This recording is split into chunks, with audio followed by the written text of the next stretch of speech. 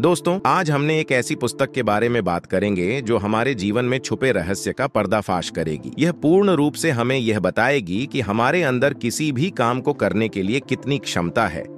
हम उसे काम को करने के लायक हैं या नहीं? दोस्तों, आज हम बात कर रहे हैं the laws of human nature जिसको लिखा है एक बड़े ही महान लेखक रॉबर्ट ग्रीन। आपने कभी भी यह सोचने की कोशिश की है कि हम कोई भी काम करते हैं? वह क्यों करते हैं? उसके पीछे का रहस्य क्या है? यह पुस्तक हमें सामाजिक और मनोवैज्ञानिक रहस्य के बारे में और ज़्यादा गहराई से जानने में मदद करेगी। पुस्तक में लेखक ग्रीन बताते हैं कि कैसे छिपी हुई आदतें जीवन को एक नया आकार देती हैं। प्राचीन काल से लेकर आधुनिक काल तक। यह पुस्तक हमें सभी प्रकार के छिपे हुए रहस्य के बारे में बड़े ही सरल तरीके से बताती है। यह पुस्तक किसी भी व्यक्ति को समझना और उसे व्यक्ति पर अपना प्रभाव डालने की कला में हमको महारत हासिल कर देगी और इन सब चीज़ों को सीखने के लिए यह पुस्तक एक बड़ा ही अच्छा विकल्प है। हमें सफलता के मार्ग पर ले जाएगी। हमारे अंदर की शक्ति का पूर्ण रूप से प्रयोग करें और सफलता की दिशा में निरंतर रूप से आगे बढ़े। हमारे जीवन को बदलने की इस पेशकश में हमारा साथ दें और अपने जीवन को भली भांति बदलें। तो चलिए दोस्तों, शुरू करते हैं। मैं आपसे यही उम्मीद करूँगा कि आप पुस्तक को बड़े ही ध्यान से सुनेंगे और पुस्तक में बताई गई बातों को अपने जीवन में ज़रूर प्रयोग करेंगे और सफलता को प्राप्त करेंगे। आज हम बात करेंगे पुस्तक में बताई गई कुछ महत्वपूर्ण बातों के बारे में कि लेखक ने अपने जीवन में एक बड़ा ही ऊँचा मुकाम हासिल किया, बल्कि केवल लेखक ने ही नहीं। इस पुस्तक को पढ़ने वाले सभी व्यक्तियों ने अपने जीवन में सफलता के रोड मैप पर चलना शुरू कर दिया है। तो चलिए दोस्तों, पुस्तक की शुरुआत करते हैं। पुस्तक की पहली बिंदु में लेखक हमें आत्म जागरूकता के बारे में बताते हैं। आता जागरूकता के माध्यम से लेखक हमें बताना चाहते हैं कि किसी दूसरे व्यक्ति को देखने की बजाय हमें सबसे पहले खुद पर ध्यान देना चाहिए कि हम जागरूक हैं या नहीं। जागरूकता में हमारा विश्वास, कमज़ोरी, शक्तियाँ आदि के बारे में बात हो रही है।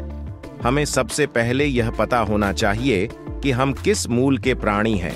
हमारा मकसद क्या है ज़िंदगी में आने का और हम किस चीज़ को पाना चाहते हैं ज़िंदगी में?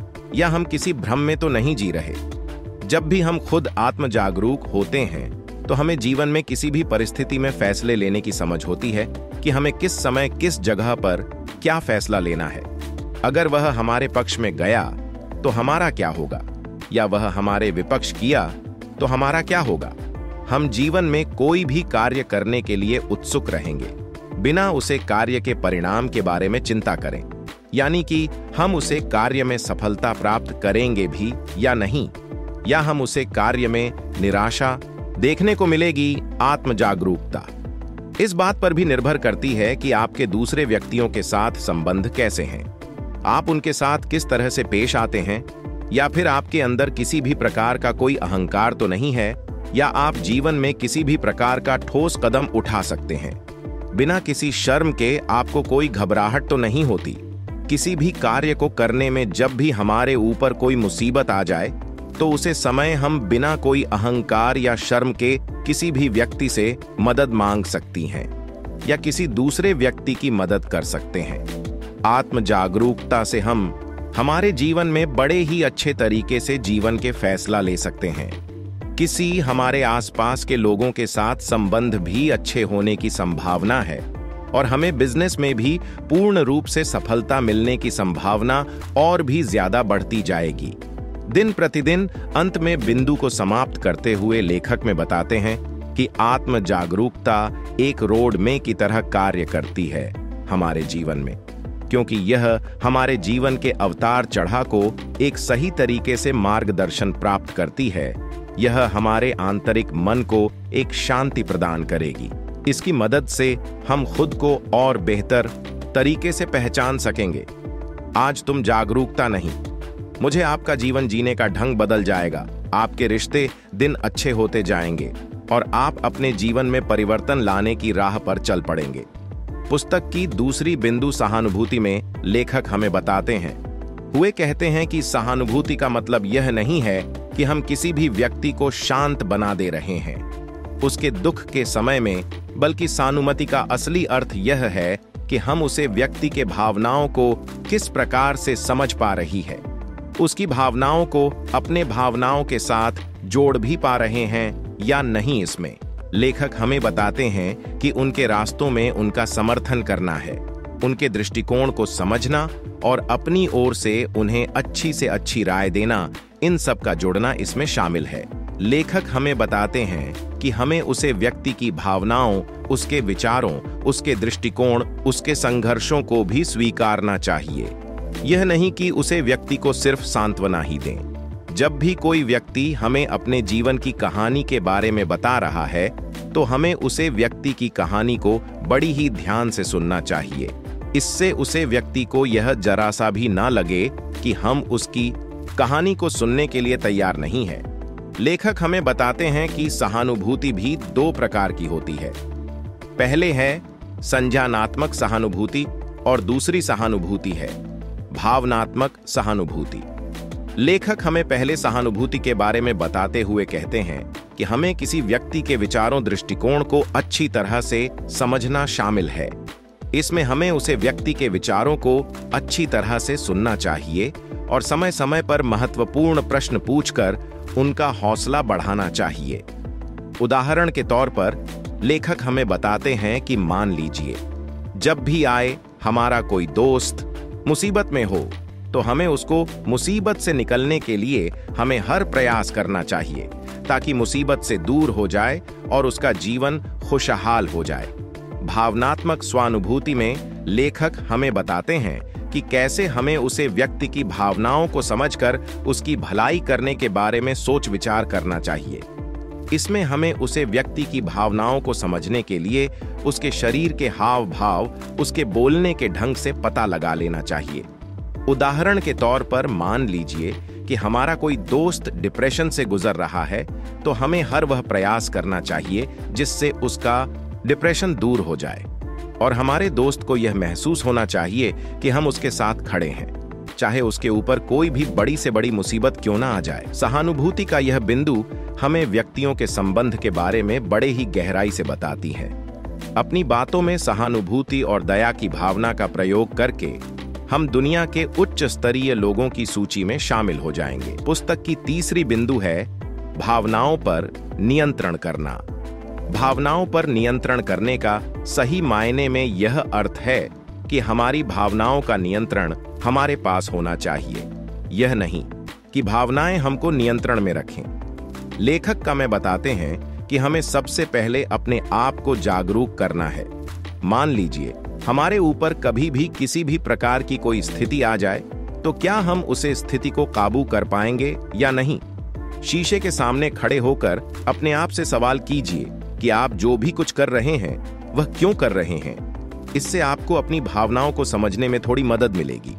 ऐसी कौन सी चीज़ है या भावनाएँ हैं जो हमें ज़्यादा गुस्सा दिल रही है?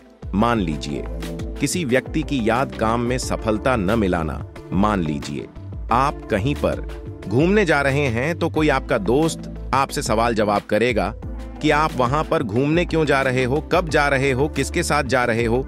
यह फालतू के सवाल जवाब करेगा तो फिर आप इन प्रश्नों को सुनकर आपके अंदर एक गुस्सा ऊपर आएगा और आप उसे व्यक्ति पर फिर गुस्सा करेंगे। और इसके विपरीत मान लीजिए, जब भी आप कोई कठिन कार्य कर रहे हो तो आपको उसमें चिंता होगी कि आप उसे कार्य में सफल होंगे या आपको निराशा हाथ लगेगी। जब भी हम अपनी भावनाओं को समझने लग जाएँगे तो हम प्रतिक्रिया देने से पहले समय ज़रूर लेंगे। सोचने के लिए कि उसे काम को करें या नहीं, या उसे व्यक्ति को जवाब दे या नहीं। हमने कोई भी प्रतिक्रिया देने से पहले हमारे दिमाग को शांत करना चाहिए। बिल्कुल शांत और दिमाग को शांत करने के लिए हम गहरी सांस ले सकते हैं। दस तक गिनती भी गिन सकते हैं और इधर उधर पल भी सकते हैं। यह सब करके हमारे दिमाग को भी थोड़ी राहत मिलेगी और हम फिर सोच समझकर ही फैसला ले सकते हैं। क्योंकि कल को ऐसा ना हो कि आपका फैसला लेने के बाद आपको पछताना पड़े। अपनी भावनाओं को अच्छे और रचनात्मक तरीके से पेश करना ही हमारे भाव को उच्च स्तर का बना देता है अपनी। भावनाओं को अपने दिमाग में दबे रहने की बजाय, उसको यह सोचना चाहिए कि किसी भी व्यक्ति के सामने कैसे प्रस्तुत करें। इस बिंदु में लेखक हमें बताते हैं कि हम किस प्रकार अपने भावनाओं पर काबू पा सकते हैं और अपने जीवन को अपनी नियंत्रण में कर सकते हैं और अपने जीवन को बदल सकते हैं।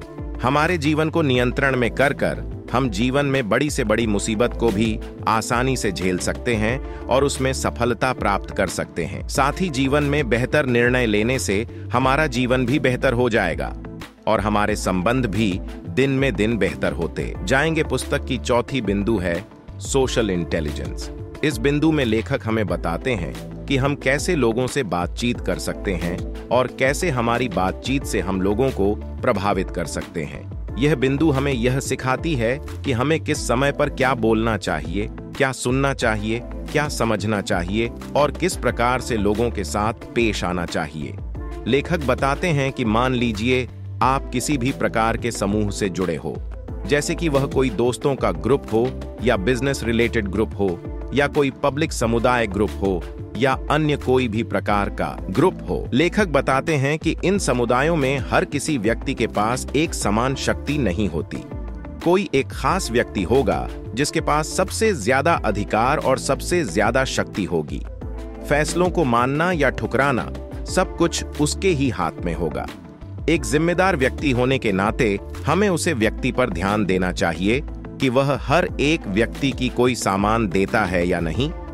या किसी में भेदभाव तो नहीं कर रहा? या समुदाय में लोगों के बीच रिश्तों में खटास पैदा कर रहा है? या समुदाय के लोगों के बीच संस्था गौर की बेहतर बना रहा है? लेखक, हमें बताते हैं कि कई बार कुछ व्यक्ति इस हद तक गिर जाते हैं कि वह अपने फ़ायदे के लिए कुछ भी करने को तैयार हो जाते हैं। चाहे उनके फ़ायदे से किसी भी व्यक्ति का नुकसान हो रहा हो, वह बिना इस बात की परवाह की कोई भी कदम उठाने के लिए तैयार है। बस अंत में सिर्फ़ उनका ही फ़ायदा होना चाहिए। किसी और का नहीं। सोशल इंटेलिजेंस हमें यह बताने की कोशिश कर रही है, मान लीजिए, जब भी कोई व्यक्ति हमारे साथ गलत व्यवहार कर रहा है यह हमारा नुकसान करने की सोच रहा है तो हम उसको ईट का जवाब पत्थर से दे सकते हैं या नहीं। लेखक में बताते हैं कि हमारे समझ का पूर्ण रूप से प्रयोग करके हम किस प्रकार लाभ कमा सकते हैं। लाभ कमाने का मतलब यह नहीं है कि हम किसको गाली गलौज करेंगे। या किसी के साथ छेड़छाड़ करने लग जाएँगे, या उसके साथ बुरा व्यवहार करने की कोशिश भी करेंगे। यह बिल्कुल इसका मतलब नहीं है, बल्कि हमें दूसरे व्यक्तियों की ज़्यादा से ज़्यादा बढ़ चढ़कर मदद करनी चाहिए और उनको अच्छी सी अच्छी राय देनी चाहिए, जिससे वह जीवन में सफलता के मार्ग पर निकल पड़े और कभी मुड़कर निराशा की ओर ना देखें। हमारे अच्छे विचार दूसरे व्यक्ति के साथ शेयर करनी चाहिए और उसे दूसरे व्यक्ति के विचारों को भी सुनना चाहिए और उनके विचारों को भी अपने ऊपर एक बार ज़रूर प्रयोग करके देखना चाहिए। क्या पता वह आपके जीवन को बदलने में कारगर साबित हो? सोशल इंटेलिजेंस का वास्तव में यह अर्थ है कि हम किस प्रकार अपनी सोच समझ का प्रयोग करके अपने कार्यों को बल्ली भांति कर सकते हैं। बिना किसी के साथ बुरा व्यवहार किया और अपने रिश्तों को कैसे बेहतर बना सकते हैं। इसे हमें लड़ाई झगड़ा से बचने और लक्षण को प्राप्त करने में मदद मिलेगी। पुस्तक की पांचवी बिंदु है स्ट्रेटेजिक थिंकिंग स्ट्रेटेजिक थिंकिंग शुरू होती है कि आपका लक्ष्य क्या है। ज़िंदगी में आप क्या कुछ पाना चाहते हैं, यह आपने अभी तक सोचा ही नहीं। ज़िंदगी में करना क्या है? सब कुछ किस्मत के भरोसे सोचकर बैठे हैं कि किस्मत में होगा तो खुद चलकर आएगा मेरे पास। तो दोस्तों, यह बात है सिर्फ़ कहानियाँ और नाटकों में अच्छी लगती है। वास्तविकता में इसका बिल्कुल भी कोई अर्थ नहीं है। यह सिर्फ़ फिल्मी बातें हैं। लेखक बताते हैं कि मान लीजिए, जब भी अपने अपने लक्ष्य के बारे में सोच लिया है कि आप ज़िंदगी में क्या कुछ करना चाहते हैं तो आप फिर अगले पड़ाव में पहुंचकर आप यह सोचें कि आपकी ज़िंदगी में क्या क्या बढ़ाएँ आ रही है, जो आपको सफलता के मार्ग पर जाने से रोक रही है, आपको सफल होने से रोक रही है, या आपके लक्ष्य को प्राप्त करने में रोक रही है तो आप उन बातों की एक सूची बनाइए और फिर सोचिए कि आप उन बढ़ाव से कैसे अपना पीछा छुड़ा सकते हैं ज़िंदगी में सफल होने के लिए सबसे पहले आपको एक योजना बनानी पड़ेगी कि आप अपने लक्ष्य को प्राप्त करने के लिए किस प्रकार कार्य करेंगे, जिसके कारण आपको जल्द से जल्द सफलता मिलेगी। मान लीजिए, आप किस टाइम उठाएँगे, किस टाइम कार्य करने में, लगेंगे, किस टाइम सोएँगे, किस टाइम क्या करेंगे, किस टाइम ऑफ़िस में जाएँगे, अपने परिवार को कब समय देंगे, अपने दोस्तों को कुछ समय देंगे, यह सब कुछ सबसे पहले एक योजना में शामिल होना चाहिए। अपनी स्केल में सुधार करिए और दूसरे लोगों के साथ अपने संबंधों को और भी बेहतर बनाया, क्योंकि आज के समय में पता नहीं चलता, कौन व्यक्ति कब, किसके कहाँ पर काम आ जाए, इसलिए किसी को अंडर एस्टिमेट मत करिए। सभी का खुले दिल से स्वागत करिए। यह बात बिल्कुल भी पक्की नहीं है कि आपने अपने लक्ष्य को निर्धारित कर लिया। उसके बाद आपने अपनी योजनाएँ भी बना ली। फिर आपको 100 परसेंट निश्चित थी। सफलता मिल जाएगी। इस बात की कोई गारंटी नहीं है। क्योंकि जब आप लक्ष्य को प्राप्त करने के लिए उसका पीछा करेंगे तो आपके जीवन में एक प्रकार की मुसीबतें आएगी। और आपको फिर सोचा है कि आप उन मुसीबत का सामना कैसे करेंगे और उनका हाल कैसे निकालेंगे। और उन मुसीबत का हाल निकालकर यह आप आगे बढ़ सकेंगे और अपने लक्ष्य के पास धीरे धीरे एक एक कदम चलकर एक न एक दिन ज़रूर पहुँचेंगे। आप अपने लक्ष्य पर ध्यान देते हुए यह भी सोचें कि आपके आसपास वाले लोग क्या सोच रहे हैं आपके बारे में। और साथ ही अब भी देखें, आपका लक्ष्य और उनका लक्ष्य एक ही तो नहीं मान लीजिए। आप दोनों के लक्ष्य एक ही होते हैं तो आपको तो आपके लिए एक बड़ा ही सुनहरा मौका है। आपके लक्ष्य को बड़े ही आसानी से प्राप्त करने के लिए, क्योंकि दो व्यक्तियों का एक लक्ष्य यानी कि दो दिमाग को का प्रयोग होगा। शॉर्टकट से शॉर्टकट रास्ता निकाला जाएगा। किसी भी मुसीबत को सॉल्व करने के लिए उसे व्यक्ति की राय दीजिए और अपने विचार भी उसे व्यक्ति के साथ ज़रूर शेयर कीजिए और अपने लक्षण के पास पहुँचे और सफलता प्राप्त करें। सोशल इंटेलिजेंस में शांत रहना भी बहुत महत्वपूर्ण है, क्योंकि मान लीजिए, एक समय पर चलने के बाद आपके सामने कठिन मुसीबतें आ जाएगी। उसमें आपको अपने दिमाग को शांत करना है और अपनी नियंत्रण में लेना है, क्योंकि जब आपका दिमाग शांत होगा तो आप बड़े ही अच्छे तरीके से उसे मुसीबत को सॉल्व करने के तरीके निकाल सकते हैं। और अगर आपका दिमाग शांत नहीं होगा तो पता नहीं किस प्रकार के अजीबोगरीब सॉल्यूशन आएँगे आपके दिमाग में। और इस बात की भी कोई गारंटी नहीं है कि आप मुसीबत को को सॉल्व कर लेंगे। यह दृष्टिकोण आपको कठिन मुसीबत से लड़ने और सफलता के मार्ग पर चलने में मदद करता है। पुस्तक का अंतिम और सबसे महत्वपूर्ण बिंदु है ऑथेंटिसिटी यानी कि प्रमाणिकता। इस बिंदु में लेखक हमें बताती है कि हम खुद के प्रति कितने सच्चे और अच्छे हैं। क्या जो हम वास्तव में है, वही दूसरों के सामने प्रकट करते हैं? या आजकल की दिखावटी और बनावटी दुनिया में जी रहे हैं?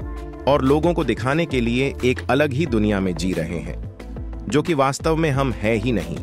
जब हम वास्तविकता से जीवन जिएँगे यानी कि जो हम हैं, वही दूसरों के सामने पेश करेंगे। बिना कोई बनावट और दिखावटी के तो लोगों को हमसे विश्वास की ज़्यादा से ज़्यादा उम्मीद होगी, और लोग हम पर पूरा विश्वास करेंगे। आप जितने ज़्यादा ओरिजिनल रहेंगे, लोगों के साथ उतने ही ज़्यादा आपके रिश्ते और भी बेहतर होते जाएँगे। दिन ब दिन मान लीजिए, जब भी आप सच्चे होते हैं और किसी अनजान व्यक्ति के साथ बात कर रहे हैं तो आप उन व्यक्तियों को भी अपनी ओर आकर्षित करेंगे, जो आपको पहले से ही जानते ना हो और आपकी सच्चाई को देखकर आपकी ओर आकर्षित हो रहे हैं। और आपके साथ मित्रता करने में भी संकोच नहीं हो रहा। उनको जितने ज़्यादा हम सच्चे और अच्छे रहेंगे, उतना ही हमारा दिमाग शांत रहेगा और हमारे दिमाग में हर रोज अच्छे से अच्छे आइडिया आएँगे। जीवन को सफल बनाने के लेखक ग्रीन हमें बता रहे हैं कि अगर हमें ज़िंदगी में कुछ पाने की इच्छा है तो उसे चीज़ को पाने के लिए हमें कभी भी किसी भी व्यक्ति के साथ छल कपट नहीं करना चाहिए, बल्कि हमें सच्ची और अच्छे तरीके से उसे चीज़ को हासिल करने के लिए प्रयास करना चाहिए। लेखक कभी बताती है कि हमें कभी भी दूसरों को देखकर फैसला नहीं लेने चाहिए। हमें अपने दिमाग के अनुसार ही फैसला लेना चाहिए, जो हमारे लिए अच्छे हैं या बुरे किसी की। दूसरी लोगों की बनावटी दुनिया को देखकर किसी भी प्रकार का फैसला नहीं लेना चाहिए। जब हम खुद से ही हमको ऐसा लगेगा कि हम सच्चे और अच्छे हैं तो हमारे अंदर एक अलग ही तरह की ऊर्जा अपने लगेगी। और लेख ग्रीन साथ में यह भी बताते हैं कि हमें दूसरे लोगों को भी प्रेरित करना चाहिए कि वह जितना उसके, उतना सच्चे और अच्छे रहे। न कि बनावटी दुनिया के माया जाल में फंस जाए और दिखावा करने में लग जाए, प्रामाणिक होने से सम्मान बढ़ता है और आपके आसपास एक सकारात्मक और वास्तविक माहौल को बढ़ावा मिलता है। तो दोस्तों, जैसे ही मैं पुस्तक का आखिरी पन्ना पढ़ा, लेखक ग्रीन द्वारा लिखी गई the power of human nature एक बड़ी ही विश्व प्रसिद्ध पुस्तक है। मैं तो आपसे यह उम्मीद करूँगा कि एक बार इस पुस्तक को ज़रूर पढ़ें। और अपने जीवन को ज़रूर बदले और सफलता के मार्ग पर चलें। इस पुस्तक को पढ़कर अपने प्रकार की चीज़ों में माहिर हो जाएँगे कि आपको किस समय पर क्या बोलना है, क्या सुनना है, क्या समझ में है, कहाँ पर अपने विचार रखने का। पर नहीं, आपको अपनी जीवन में सच्चा और अच्छा रहना है। बिना कोई बनावटी दुनिया के माया जाल में फंसने के, बजाय कभी भी दिखावा नहीं करना। आप जैसी हो वैसा ही रहना है। किसी भी व्यक्ति का मज़ाक नहीं उड़ाना। आप अगर किसी भी चीज़ में माहिर हो तो आपका यह फ़र्क बनता है कि आप अपने पास पड़ोसी या किसी अन्य व्यक्ति की उसे काम में मदद करें और उसको भी सफलता की दिशा। जैसा कि लेखक ने हमें इस पुस्तक में दिखाया है। लेखक हमें बताते हैं कि हम एक शांति मांग के साथ कितनी भी बड़ी से बड़ी मुसीबत को भी आसानी से छुटकियों में समझा सकते हैं। तो दोस्तों, आज की हमारी है बुक समरी। यह पर समाप्त होती है। उम्मीद है कि आपको बुक पसंद आई होगी। और आप हमारे साथ जुड़े रहेंगे और आप इस पुस्तक को ज़्यादा से ज़्यादा लोगों के साथ शेयर करेंगे और हमें सपोर्ट भी करेंगे। धन्यवाद। जल्दी मिलेंगे एक नई वीडियो में।